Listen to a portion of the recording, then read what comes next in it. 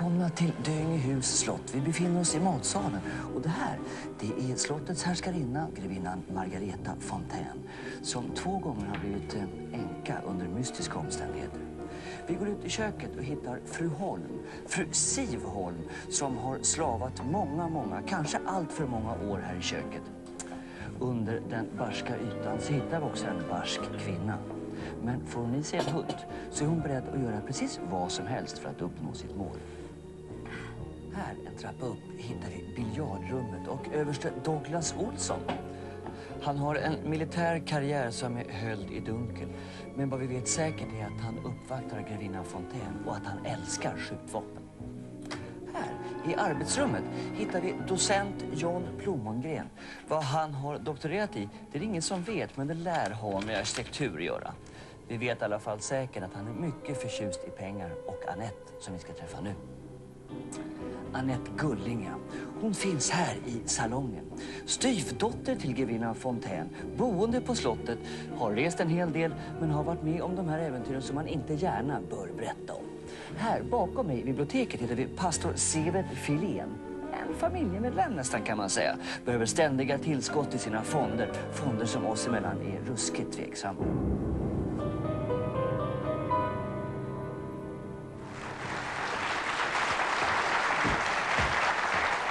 Välkomna till Cluedo. Vi ska leka, vi ska spela ett tag och lite allvar finns det med i det hela också. När man sitter hemma och ser på TV och tittar på en deckare så försöker man ju alltid lista ut vem mördaren är. Och de gånger man lyckas blir man ju oerhört stolt och tänker att ja, visst är det precis hela tiden. Men här i Cluedo så går vi ett snäpp längre. Vi ska inte bara hitta mördaren, vi ska också hitta det rum där mordet begicks. Vi har här att välja på köket, matsalen, salongen, biblioteket, biljardrummet eller arbetsrummet. När det gäller mordvapen så har vi också valt några som inte är så eh, vanliga kan man säga. Har mordet begåtts med en penna? Eller kanske det är så att det har begåtts med ett svärdsspett, ett grillspett? Eller har det varit en pistol, en kamera, en klocka eller ett vildsvin. Kan man mörda med ett vildsvin? Ja, det är alltså lite osäkert, men jag tror att det kan vara fullt möjligt.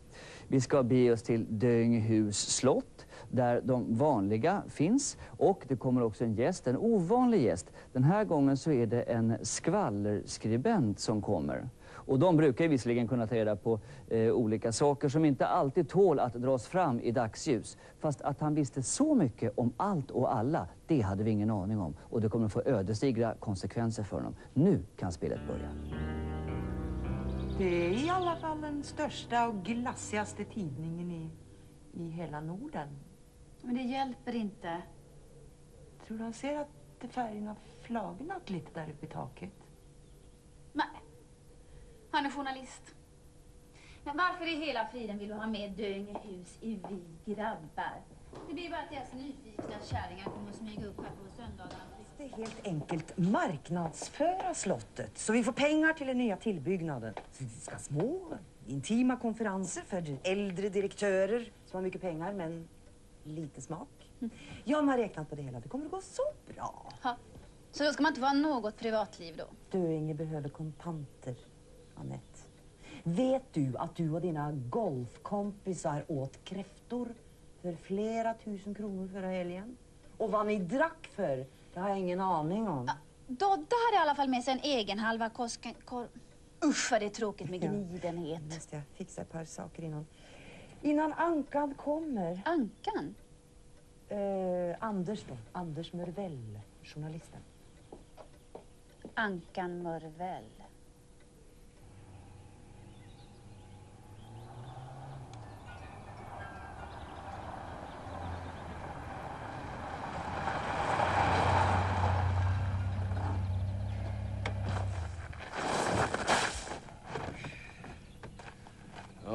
Inte kattskit. Lapsang Souchong. Med en anings aning krossade mimosablommor. Nej då, det är Konsums morgonblandning det där. Ja, just det. Konsum har alltid lite mimosa i sitt morgonte. Ah, här luktar te. Jag råkade passera. Jag presentera pastor Seved Filén. Tjena, Seved. Hej! Du kommer lite för sent för att läsa bordsbön här för oss. Vi har, vi har redan börjat. Eh, det här är... Jäklas. Det är min. Det är säkert chefredaktören. Ja, tjena, det är Murvel här. Du, vad fan har du fått tag i det här mobilnumret?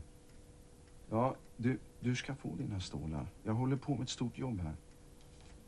Ja. Vad sa du? Ja, ja, det är bra. Jag har numret. Jaha, det var det. Satans chefer, de jagar som man är någon jävla eh, kanin. Men det där känner väl du till, du, med din chef. Du, du kan i alla fall inte undvika hans deadline. Ja, herrans svorde. Är det några skandaler på gång i den här församlingen då? Präster brukar ju alltid känna till alla lik i garderoberna. Redaktör Mörvel ska skriva en artikel om slottet för vi grabbar.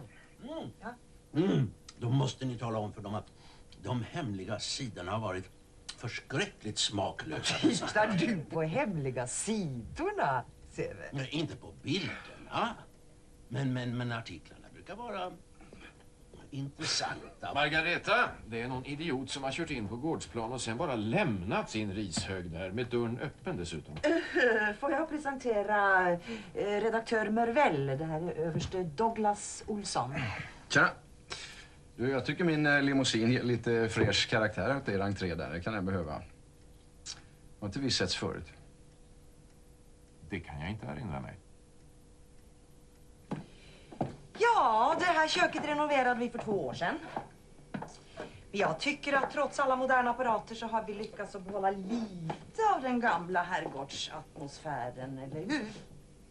Jo, absolut. Det påminner faktiskt om eh, köket där jag gjorde lumpen. Duvor ska det bli, säger jag. Ska det möjligen bli Sivs piffiga duvor i maderasås? Just det. Det är Sivs egen lilla skapelse där som vi ska få smaka på imorgon kväll. Titta! Hennes egen bok. Mm. Herrgårdskök i våra dagar. Det har faktiskt blivit en bestseller. Mm. Duvorna marineras ett dygn.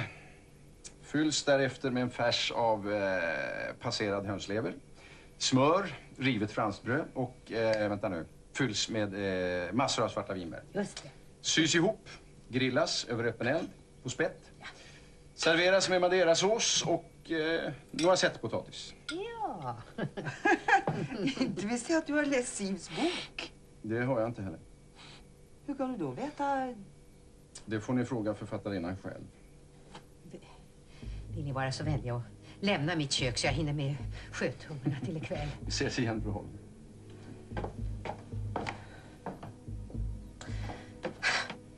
Det här var min mans favoritrum. Här samlade han sina finaste jakttroféer. Det här svinet till exempel. Om man får säga så. Det, det var jätteruskigt. Det sköt han ner på Österlen. Den livsfarliga galten hade rymt från Kristinehov. Känner ni möjligtvis eh, Kalle Piper på Ja, Kristinehov? nej, inte personligen, men eh, det finns kanske vissa drag. Vi kanske ska titta lite på parken. Slottet är berömt för sin park. Vi har mycket vild natur, eller hur Seved? Fasan. Där finns ett litet bo med jättegulliga fasankycklingar alldeles här ute i parken. Ja, jag dör om jag inte får se några fasankycklingar snart. Seved, har du sett någonting till Anette? Hon verkar totalt borta. Anette, vilken Anette? Eh, min styvdotter, Anette Gulling. Douglas? Är du säker på att du inte känner den här redaktören? Mörvel? Svar ja.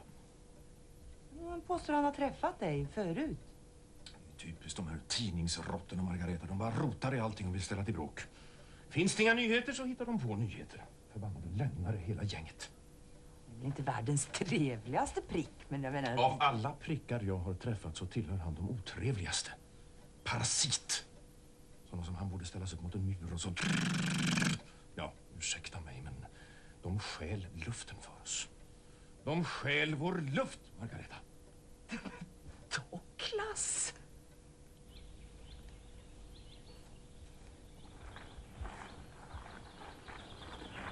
Du, eh, var, den där, är det, var det där nya flygen? eller? Oh, nej, den där är jättegammal. Nej, den nya tillbyggnaden ska ligga där borta någonstans. Vad ska den vara bra för då? Jagervinna Fontän tänker sig att starta sådana där konferenser. John ritar på det. John, vilken John? Det är John Plomongren, docenten. Han är expert på arkitektur. Han ritar tillbyggnaden och organiserar själva ekonomin, om man ska Ja, säga. ja, det låter ju som intressant business. Lite rundgångsfiffel sådär. Vad är det för figur? Ja, jag vet inte så noga. Egentligen är han ganska eh, hemlighetsfull. Jag älskar hemligheter. Jag samlar. Och när jag då klagade på hur han uppförde sig, ja då förlorade jag jobbet. Va? Nej, Så jag gav upp. Åkte hem till Döinge. Min eh, journalistkarriär var slut. Han är helt enkelt ett djur. Lillan, gör ingenting dumt nu, det säger jag bara. Om det är någonting jag har lärt mig så är det att man måste kunna hantera sina verktyg. Och hämnden, den gjuter man helst kall. Eh, jo, jag tror att det var någonting med plåtgrejer eller kanonbilar eller vad det kan heta. Jag kommer inte ihåg Men riktigt. för helvete, pastorn, försök att komma ihåg nu. Jag kan ju göra er kompis berömd. Shh! Här är det. Har ni kameran klar? Han var väl nybliven överste då, var inte det? Och ansvarig för hela den där eh, stora manövern där på Kullaberg. De är väl för söta. Om ni sträcker på era små halsar nu så kommer ni in i tidningen. ja, redaktör Mörvel vill ta en bild. Jo, och det var då som en hel drös officerare dog i den mystiska så kallade latrinmassakern.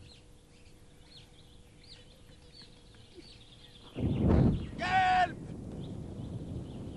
Kom tillbaka! Det brinner i fasanbo! Skit i det, låt skiten brinna! Le pastorn, le! Fasankycklingarna! Hjälp! Det brinner! Vatten! Stackars, stackars. Ni drunknar väl inte nu? Gode Gud. Den mannen har levt för länge.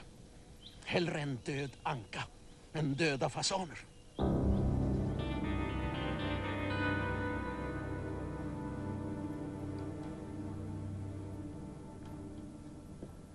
Ja, vem fan är du? Anders Mörvel heter jag.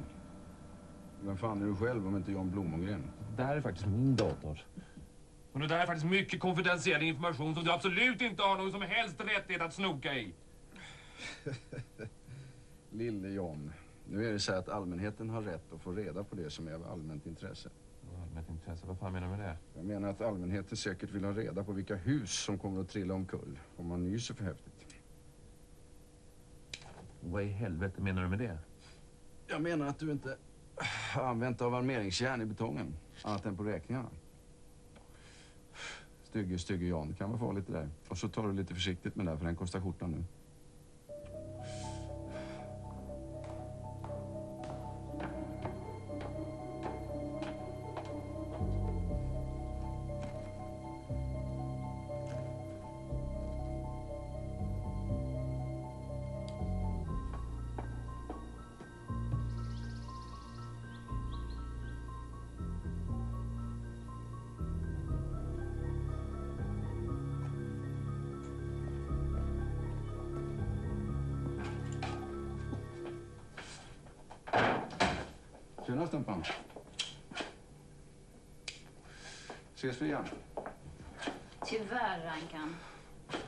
Du kallar mig inte Anka, jag hatar det.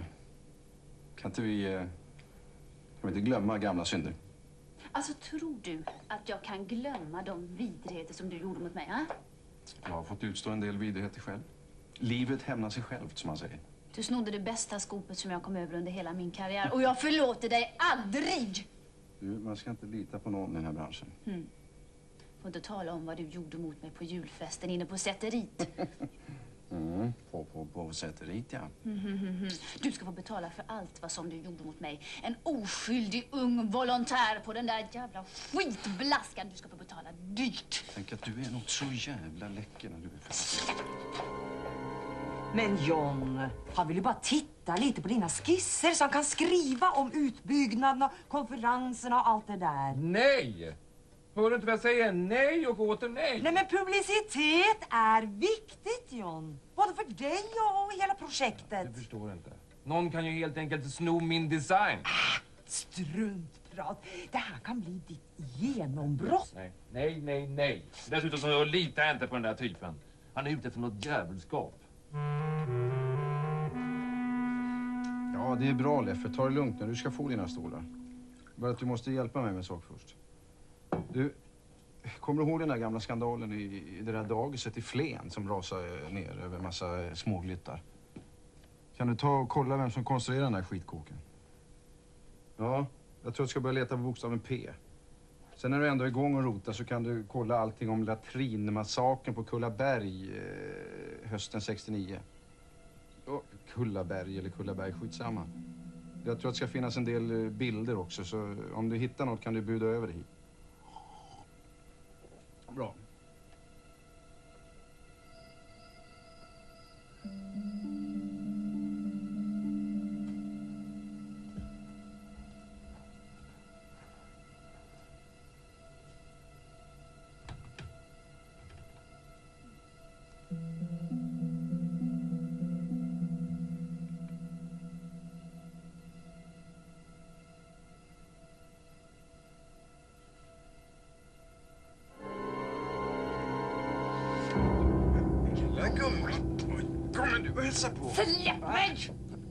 Sällskap?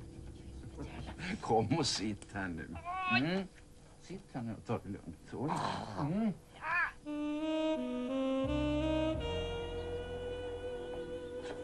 Tjena. En härlig morgon. Här sitter du och leker krig. Och så låt bli att smula i vapenfettet här. Kan jag inte få vara i fred? Tänkte att du och jag kunde snacka lite gamla tider. Inte Cypern och Libanon och FN och den där skiten utan lite mera nära ting. Vi kunde till exempel snacka om den där förskräckliga så kallade latrinmassakern på Kullaberg under höstmanövern 69. Det där vet jag ingenting om. Du, sakta backarna nu gubbelilla. Du har ansvaret för det, jag har kollat det. Du kom i bråk med sergeant Karlsson. Så tvingar du honom och hans mannar att montera upp officerarnas latrinstång precis vid stupkanten ovanför havet. Jag var övertygad om att det var både hygieniskt och fältmässigt. Mm. Det var bara det att det blev åtta löjtnanters och en fänriks död i de rasande vågorna bland de skarpa klipporna nedanför stupet i den fruktansvärt rykande höststormen. En torsdagnatt efter ärtsoppan. Kan du inte låta det tragiska förflutna vara i fred? Allt det där är ju glömt! Det är inte glömt Olsson, det är möjligen gömt. Men det är klart att armén har gjort allt de kan för att dölja den där skandalen. Vad var det domaren sa i rätten? Eh, Ett mindre tekniskt planeringsfel av en i övrigt oklanderlig officer i pressande tjänst. Jag skulle kunna skriva ett fantastiskt reportage om det där i Vi grabbar. Jag tror dessutom att eh, sergeant Karlsson tog en del eh, mycket intressanta bilder som inte är publicerade än. Vad är du ute efter egentligen? Sådär hundratusen skulle väl sitta bra i min tomma plånbok. Jag ger mig inte för utpressning. Det vore vanhedrande. Det där tycker jag låter mycket löjligt för att komma från en massmördare. Skål, fru Holm! Och så är vi lite glada. Se där ja, det går ju riktigt bra det där. Jo, från det ena till det andra. Eh, I natt kom jag plötsligt att tänka på vad jag hade läst det där receptet till eh, Sivs piffiga duvor. Det var helt enkelt i Carl Blunks eh, klassiska gastronomiska handbok. Le. Le lite fru Holm. Det är inte förbjudet att planka recept. Fast det hade ju kanske sett lite snyggare ut om ni inte hade påstått att ni hade hittat på det själv. Säg omelett. Åt helvete! Olyckan. Det var en förskräcklig olycka vid en manöver. Och nu har spökena vaknat till liv igen. Det är han, va? Är den där journalistråttan. Murvel, är inte det? Det finns bara en enda sak att göra. En enda hederlig utväg. Och det är att ta sitt liv. Var inte dum, Douglas. Jag måste äntligen få sona åtta officerares död. Och en Fenriks. Ja, ja, det kanske var en liten också. också. Jag, jag måste få gottgöra. Douglas, om du skulle dö skulle inte det ändra någonting. Men det finns en annan som borde dö. Murvel. Det skulle ändra en hel del. Nej, jag måste göra det enda hederliga. Du får inte tänka så, Douglas. Jo, Seved. Jag har bestämt mig. Kan du snacka så man hör vad du säger? Jag, jag, är det Expressen jag hamnar på? Bra. Det är Anders Murvell här. Du, jag har en eh, panggrej här som knäcker det mesta eh, ni har haft på löpsedeln sen Björn Borg tappade kalsongerna. Mm. Du, vad pröjsar ni för en bild på en, på en känd eh, svensk eh, överste just som han tar livet av sig? han skjuter sig i kolan. Bang! Ja, med en armépistol. Hej! Där är du ju! Jag undrade just vart du hade tagit vägen. Ska du inte ta någon bild av husets stora stolthet? Här ampirklockan. Tillhört den ryska tsaren.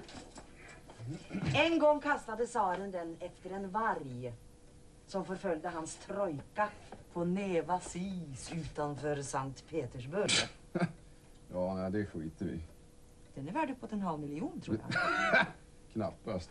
Förlåt! Fast det är ju bara någon billig imitation, made in Hongkong. Va? Men åtminstone haft en gök som har hoppat ut och skrikit Avaric eller något hade man kunnat gjort någon grej på. Men vad fan, jag kan ju alltid skriva att det äkta. Klockan slog och vargen dog och tsaren räddade livhanken. Det kan jag göra mot en skälig ersättning.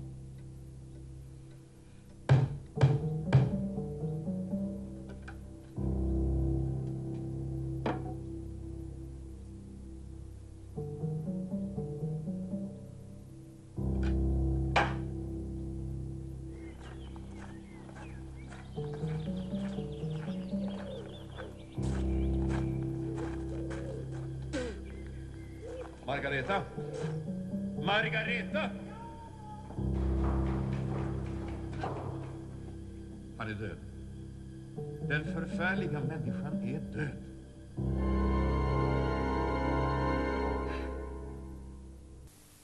Om en liten stund fortsätter Cluedo. Nu följer upplösningen av Cluedo. Det tycks ungefär som om varenda en på Dyngehus är beredd att gå så långt att man kan döda en murvell. Det är alltså hög tid att ta in de misstänkta. Varsågoda, välkomna alla misstänkta.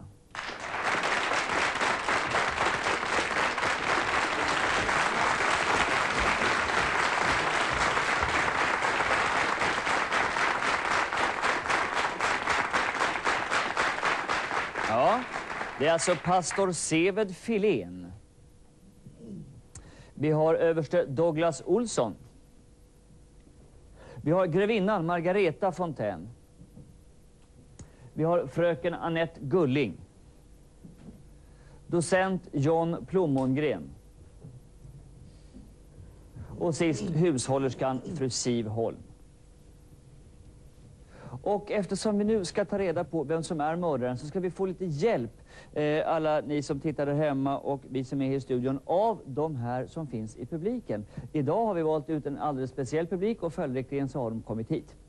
De sitter här med apparater som är kopplade till en dator. Där kan man knappa in vad man tror är det mest troliga alternativet. Här uppe så knappar man in ett av de sex eh, mördaralternativ som man tror är rätt. I mitten så har vi rummet det har skett i och längst ner med vilket mordredskap det hela har skett. Och via datorn kan jag redan nu tala om att den som är favoriserad bland mördarna så att säga är alltså grevinnan. 32 procent tror att det är grevinnan Margareta Fontän som har mördat. Ja, så kan det gå. Vi får se om det kommer att bli lite ändring i de här prognoserna därför att vi ska nu börja fråga. Finns det några här som... Här har vi inte fråga. Du heter? Agneta Wiklund. Ja. Jag vill fråga Annette, vad var det du pulade med där med pennan? Du gick och hämtade en penna och vad gjorde du sen? Jag såg inte riktigt. Ja, jag var alltså och snokade i eh, Murvells väska. Och jag letade efter någonting suspekt. Jag tyckte inte han hade där att göra. Jag undrade vad han hade för lut på gång. Då hittade jag pennan och tänkte att eh, den var vass och bra. Fler frågor? Någon? Här har vi fråga. Jag kliver in här. Du heter? Anna Rudling. Jag skulle fråga docenten vad han eh, har gjort med alla pengar han har tjänat på eh, felaktiga kalkyleringar. Hoppsan. Ja, vilka felaktiga kalkyleringar? Armeringsjärnen tänkte jag främst på. Ja, alltså. det, det där var ju Murvels. Alltså Murvel är ju alltså, han är ju journalist, han är ju inte arkitekt. Han kan eh, väldigt lite om arkitektur. Det där är alltså, om man får säga det själv, alltså en smått genial idé som jag håller på att jobba med, med att försöka ersätta just armeringsjärn i olika byggnader. Med, med pengar eller? Ja, jag, I och med att idén inte riktigt är färdig va, så kan jag inte gå vidare på det här. Det, det kommer ni alla så småningom för att eh, kunna få dra nytta av i era hem. Men du hade ju budgeterat för armeringsjärn tydligen. Ja, just det. Ehm, det, det, det gjorde jag ju Det gjorde jag ju därför att eh, i och med att jag fortfarande än, ännu inte har alltså, en beteckning på det här ersättningsmaterialet då för, för eh, just eh, eh, armeringsjärn och så har jag då satt armeringsjärn då på den posten. Ditt namn? Louise Grimm. Jag vill fråga hushållerskan om hon hade träffat den här Ankan tidigare.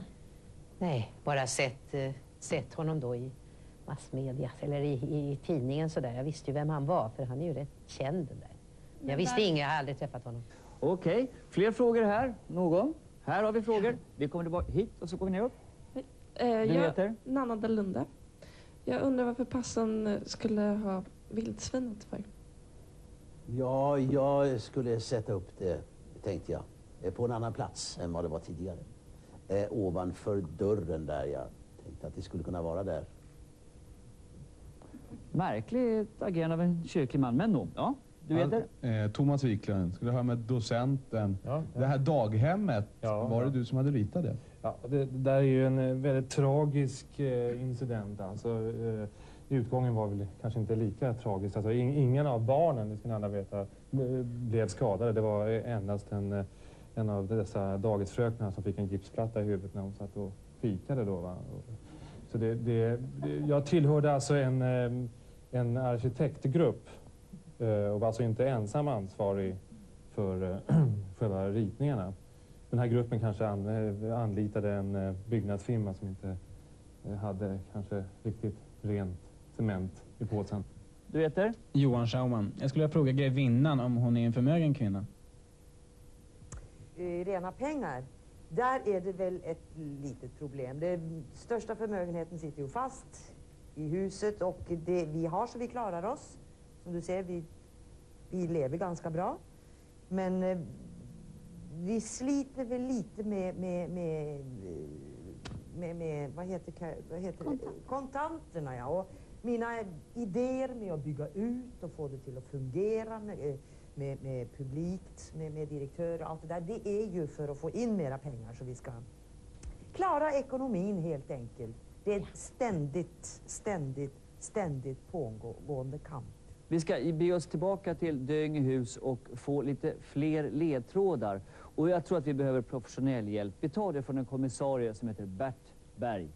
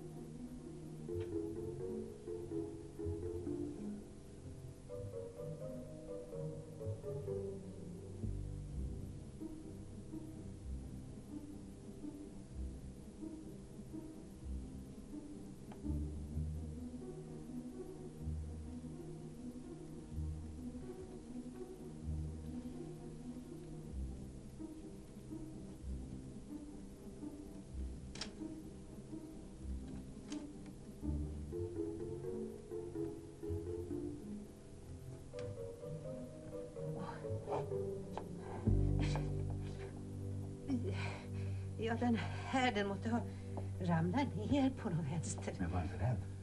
Det är inte jag som är mördare. Och det vet ni nog, tror jag.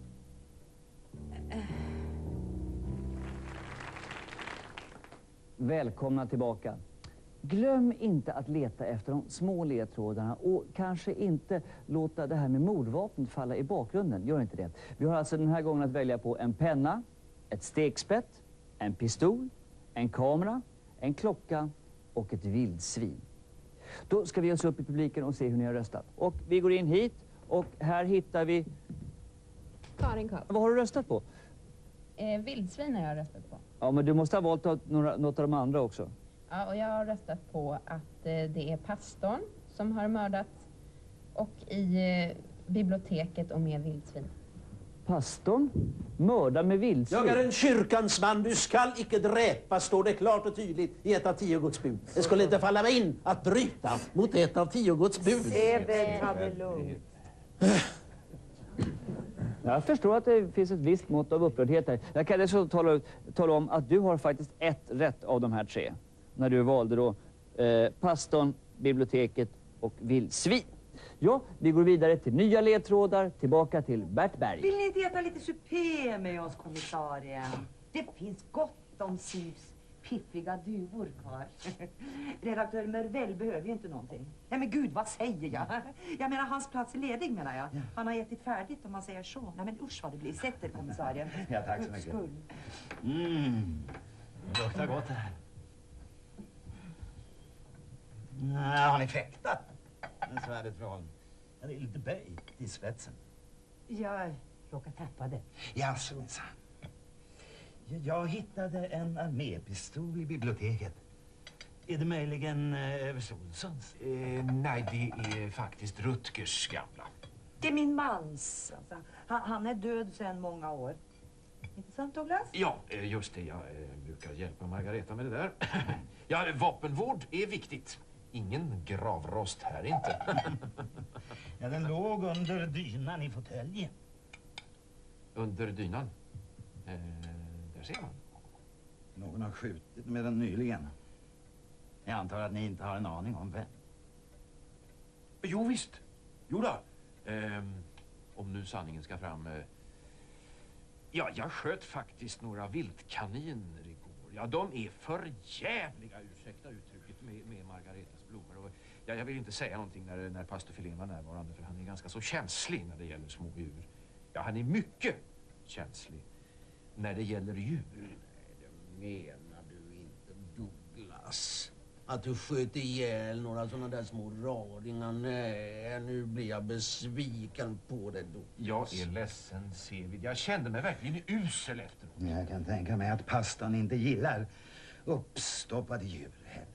Nej, just det. Det är förskräckligt med sådana där stackars preparat. Men det hindrade er inte från att applicitera. Ja, fiffla upp det där vildsvinshuvudet över biljardrumsdörren. Visa mig en fot. Ah. Pastorn bär ekoskor. Ja, jag erkänner. Jag erkänner. Jag fifflade med det där vildsvinshuvudet så att det skulle trilla ner och döda den där vidriga journalisten som inte drog sig för att sätta fyr på de stackars fasankycklingarna med sin äckliga cigarett. Men vad hände istället? Ja, ja, ja. Jag tajmade det lite fel så jag... Jag fick huvudet i huvudet själv. Titta! Ah, det blödde något gräsligt. Och, och så satte jag på ett plåster. Och så gick jag av mig på biljardbordet för att vila. Och jag vaknade inte förrän Douglas ropade. Det förklarar kudden. Det var väl inte så att ni bara tappade grillsvärdet i golvet, fru Holm? Vad hände egentligen? Det är en mycket intressant rispa i väggen här. I struphöjd. Jag hittade svarta vinbär på bänken här nedanför och till och med lite passerad hönslever. Anfällning. Den försvarslöse redaktören. Med eh, grillsvärdet fulladdat. Med Sivs piffiga duvor. Han var inte försvarslös. Han var en samvetslös utpressare. Ja, ja. erkänner att jag har knyckt med några små recept i din kokbok. Men, men till exempel gummans kalaspudding, den har jag hittat på alldeles själv. Kan inte en människa ta ifrån mig. Men så var det det att jag var tvungen att få kokboken färdig. Jag behövde ju pengar till min pensionsförsäkring. Jag har sån usel lön här. Usel lön? Vad menar Siv med det? Vill grevinnan vara vänlig och gå in till de andra? Det här är konfidenten. Ursäkta.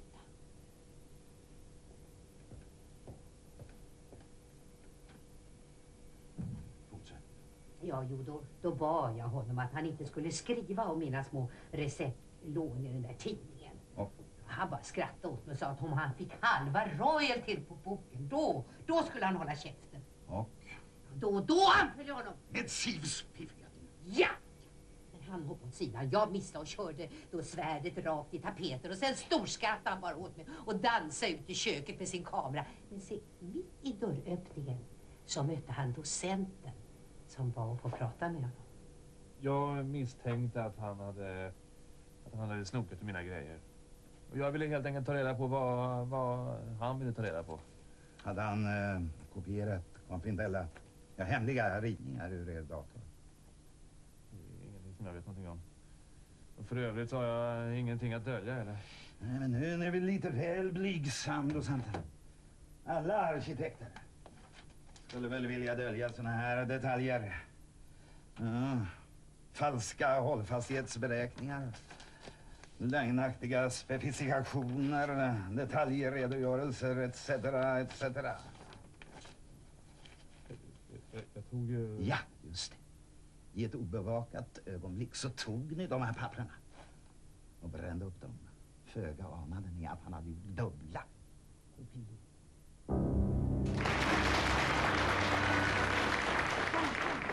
Ja, jag har fått en ny prognos här som säger att de flesta tror att det är docenten som är mördaren. Vildsvin är mordvapen och att det har skett i biblioteket. Docent John Plommongren, mycket, mycket misstänkt. Ja, det är ytterst beklagligt att ni kan tänka en sån tanke på mig. Och om jag skulle skulle jag definitivt inte göra det med ett vildsvinshuvud. Det är ju helt morbid. Jag är väldigt nyfiken på de här teckningarna måste Ja, jag säga. jag också. Ja, jag gör inga Totalt teckningar. nyhet. Teckningar, teckningar gör barn. Jag gör inga teckningar. Förlåt, vad heter du? Jag gör inga teckningar, så. Ritningarna menar Margareta, du vet mycket väl vad hon menar. Har du- vad är ska- det frågan? Ja. Ska vi, ska vi försöka reda ut den här mordgåtan nu istället? Det var så förbannat svårt att få ordning på. Ja, hej, vad heter du? Caroline Jansson. Vad har du röstat på? Ja, jag har röstat på eh, docenten Jaha, se där ja. Och att mordet skedde i biblioteket Ja, och att han tog klockan. klockan.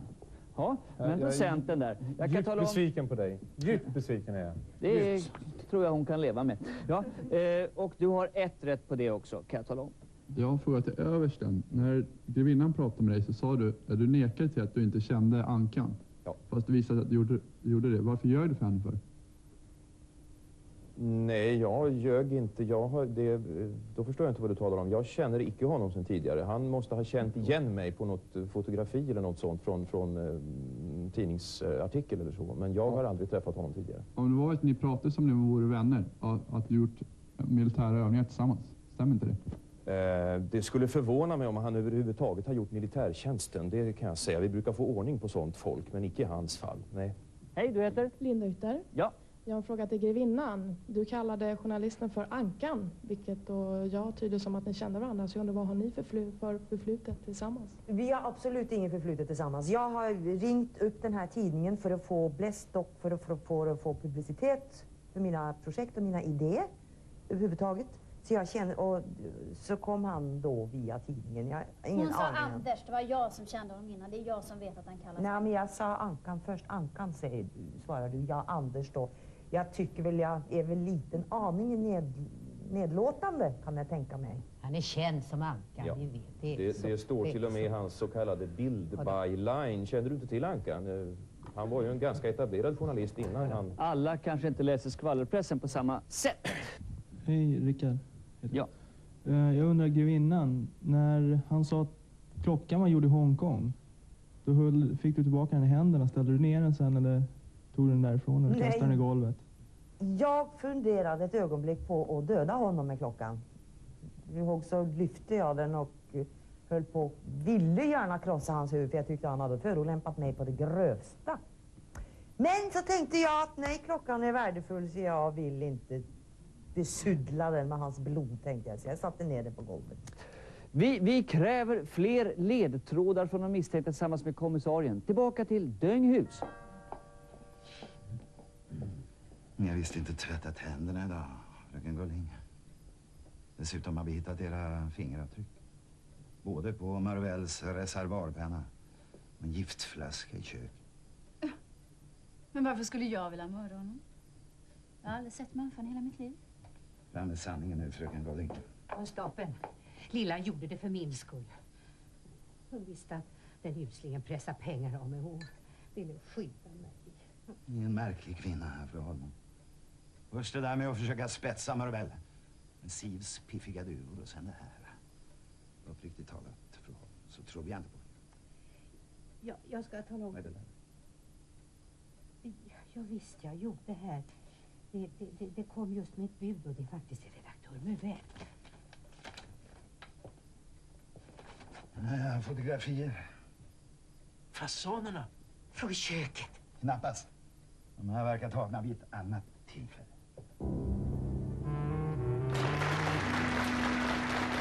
Då är vi alltså tillbaka och vi ska börja med att titta lite här vad folk har röstat på. Jag, du vill fråga, jag kommer tillbaka om en stund. Vad har du röstat på?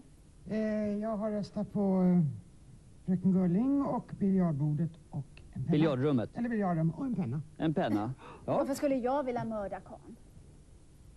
Det dummaste jag ja du, har redan, du har redan försökt så att i och för sig så är tanken inte helt otrolig. Men jag måste tyvärr meddela att du har lyckats på det här eh, sättet att rösta fått ihop noll rätt. Vi kan alltså frikänna fröken Gulling.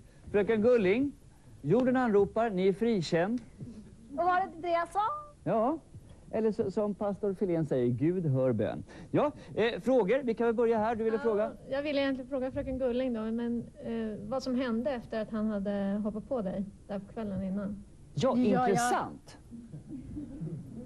Jag, va, va, när jag kom därifrån med livet och heden i behåll. Heden också. Det var väl kanske inte alla som trodde på det. Nej. Här har vi en fråga här inne. Venus undrar... Venus? Ja. Åh, fråga mig. Nej, jag tänker fråga fru Holm. Har du någonting som du kan säga att du inte har begått mordet? Bara att jag är, är oskyldig. Jag skulle aldrig kunna mörda någon. Den här gången när jag blev så arg på honom så jag kom med spettet. Det var ju att det rann över. Men inte hade jag tänkt döda honom. Inte. Jag anföll honom i ilskan. Men jag skulle aldrig... Jag kan inte tänka mig att jag skulle kunna begå ett mord. Nej, det kan jag gå i god för också. Sivan är en eh, mycket godhjärtad människa. Trogen. Du vill ställa en fråga? Marianne Fredriksson. Eh, Jag undrar vad fröken Gulling hade med Ankan för förhållande tidigare? Ja, vi hade varit kollegor på tidningen Vi grabbar. Ja. Eh, vi ska ta en, en liten omröstning här och titta. Vad har du röstat på? Hej, vad heter du? Caroline Lindström. Ja, vad har du röstat på? Eh, Översten och sen biblioteket och vildsvinet.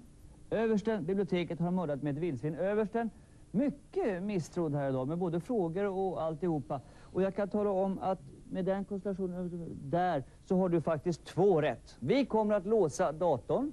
Den låser vi nu. Och om fem sekunder gör vi det. Så nu ber vi att ni rattar in er absolut sista gissning. Vad är det som har hänt? Vem har mördat? Var har det skett? Och i med vilket mordvapen? Då hoppas jag att alla har gjort sitt sista alternativ och vi ger oss tillbaka till Dönghus och upplösningen. Jag kan ge mig usla polislön på att den där tingens i bakgrunden är fyren på Kullaberg. Inte sant? Överste Douglas Olsson. Det förbannade svinet visste vem jag var i samma ögonblick han såg mig.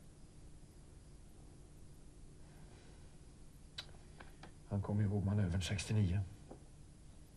Och den fruktansvärda olyckan.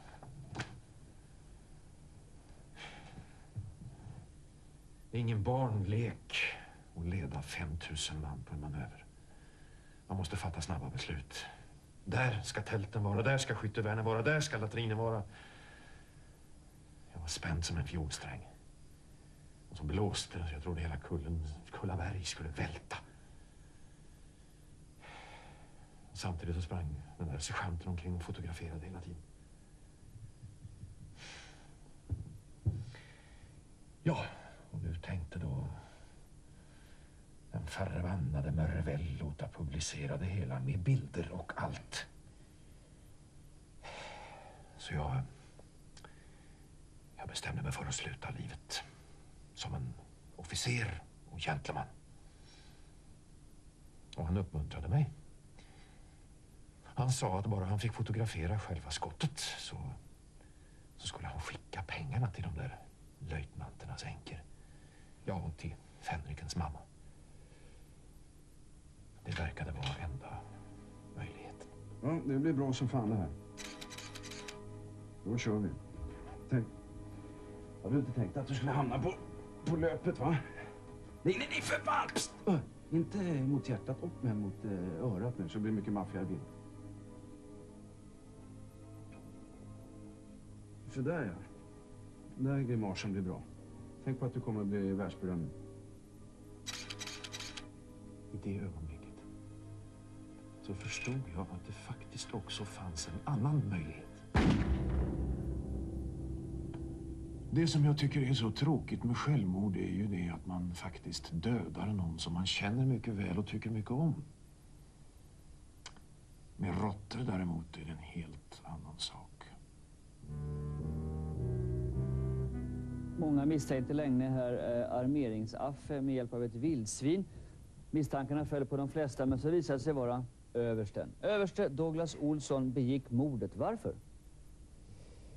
Ja, det, det var väl kanske egentligen inte så, så hastigt mod som det, som, det, som det kan ha verkat här. Det är klart att jag, jag, jag har levt med de här minnena dag och natt. Det, är- det är fasansfulla minnen att, att leva med och ja, det, är en, det är en hederssak för en officer. Måste det vara en hederssak att inte vara orsaken till, till många kollegors död. Men också i slutresonemangen i samband med, med själva förberedelserna så erbjuder sig den här Mörvel också att köpa upp filmrättigheterna. Och kan ni tänka er detta? Nio av kungens officerare, åtta löjtnanter och en liten fänrik med blottade bakar. Filmad utav en våldsbenägen filmindustri. Ja, Hela, hela denna fasansfulla framtid. Ja, jag sköt karln på fläcken. Var satt den fläcken?